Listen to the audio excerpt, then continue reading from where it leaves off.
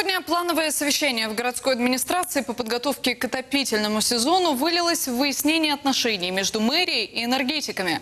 Глава Красноярска Тхам Акбулатов обвинил некоторых руководителей энергокомпаний в бездействии. Первым под критику мэра попал представитель Красэнерго, который не смог четко объяснить, почему накануне в микрорайоне Покровский в домах не было электроэнергии в течение нескольких часов. Руководитель Красэнерго посетовал на стечение обстоятельств. По мнению Тхама Акбулатова, руководство Красэнерго просто боится выбивать деньги у своих начальников из Москвы на ремонт линии подстанции, зато исправно собирает платежи с населения. Как заявил градоначальник, теперь мэрия сама займется выбиванием денег у столичного руководства энергокомпании. Еще на орехи от мэра досталось и энергетикам из ТГК-13. Ситуация с горячей водой сложилась такая, что ее градоначальнику пришлось брать под свой контроль.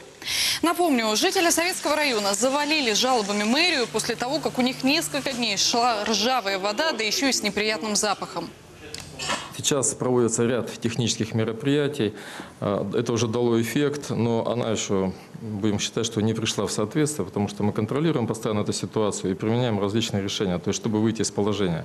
Шакович, чтобы вообще в дальнейшем это не эту проблему избежать, нам нужна а, единая техническая политика вообще в городе Красноярске по тепловым сетям. Но возвращаясь к теме ТЭЦ-3 и э, значит, устранения тех имеющих на сегодняшний день дефектов в горячем водоснабжении, э, я понимаю, что работа ведется компанией.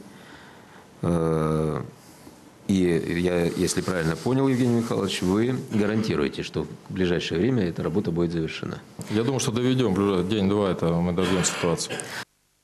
У энергетиков один ответ на это. Они говорят, подают воду нужных параметров, а вот трубы старые, ржавые, вот и доходит она до потребителя уже непотребные.